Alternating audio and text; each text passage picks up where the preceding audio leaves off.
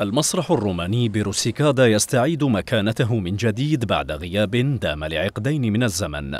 فعلى إثر عمليات ترميم استعاد هذا الصرح بريقه وفتح أبوابه من جديد لاستقبال الزوار.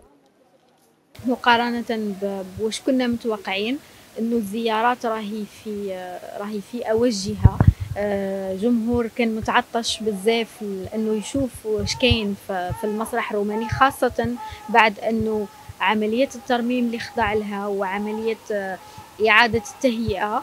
اليوم جيت المسرح الروماني. آه ما كنتش متخيلو هكذا بصح عجبني بزاف عجبوني المعلم الاتريك فكانوا يخدموا للرومان. التقنيات التي كيف صنعوا بها آه، هذه آه، المسرح هذا.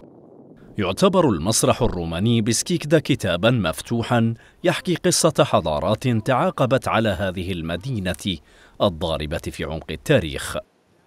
المسرح الروماني لمدينة ريسيكاد آه، تبنى في في عهد الإمبراطور أدريان بين 117 138 هو حكم بين 117 138 ميلادي. راهو مصنف كتراث وطني للأمة من ألف من سنة 1900 طاقة الاستيعاب تاعو كانت تستقطب حوالي 6000 متفرج راهو من أكبر المسارح في شمال أفريقيا.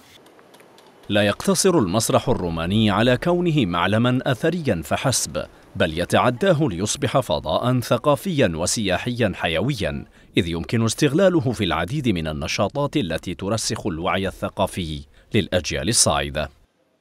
بعد فتح المسرح الروماني اللي واقع بسكيكدا إن شاء الله الأنشطة تاعنا ما راحش تقتصر فقط على الزيارات بل راح نوضع إن شاء الله خطة محكمة لتوسيع وتعدد النشاطات مثلا كحقيبة كالحقيبة الأثرية أو حقيبة الأثري الصغير. وهذه الأنشطة تتمثل في آه، تستهدف فئة معينة أكثرها الأطفال لترسيخ الموروث الثقافي لديهم.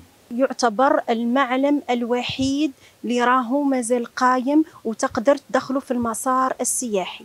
وهذه نقطة جد مهمة لولاية سكيكدا ولينا إحنا كأثريين أنه يدخل المسرح الروماني في الإطار أو في المسار السياحي. هذا الصرح الذي شيد خلال فترة الإمبراطور أدريان ما يزال إلى اليوم شاهدا على أن هذه المدينة هي أرض الحضارات وملتقى الحقب التاريخية التي تتفرق بين أرجائها.